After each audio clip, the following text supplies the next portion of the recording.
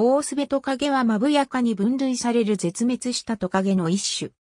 かつては単型のマクロスキンク属に分類されていたが、分子系統解析では他の大型トカゲ類との禁煙性は否定され、カーボベルデに生息するマブヤ族マブヤの数種と禁煙であるという結果が得られた。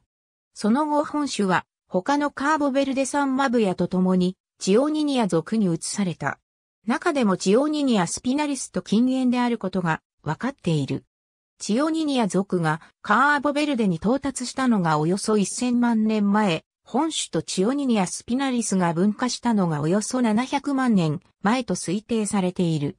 東、大西洋のカーボベルデ諸島の一部であるブランコ島とラソ島に生息していた。島の面積は小さく、合計でも10平方キロメートル程度である。また、歴史的にはさらに広い分布域を持っていたようで、サンビセンテ島やサンダルシア島からも、半化石化した遺骸が発見されている。東道長30センチメートル、全長60センチメートル程度だった。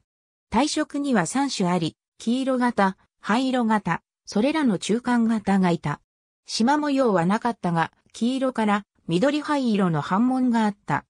白明白母星であったと考えられているが、絶滅しているため実態は不明である。雑食性で、海鳥の繁殖期にはその卵や親鳥を、それが利用できない季節には、ゼニアオイ類やその種子を食べていたと考えられる。体長と足の長さの比から考えると、半樹状性であったとみられる。1784年にポルトガルのホゼでシルバ・フェージアによって発見された。もともとブランコ島もラソ島も地図にも載らないような小島でほとんど利用されていなかった。しかし、1833年に流刑者がブランコ島に流され、自給自足生活を余儀なくされたため本種は捕獲されて食用にされた。また、腹の脂肪は傷薬として用いられた。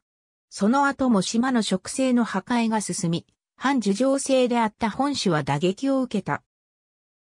また、植生破壊による土壌の流出や偶発的な干ばつなどの影響で個体数は急速に減少していった。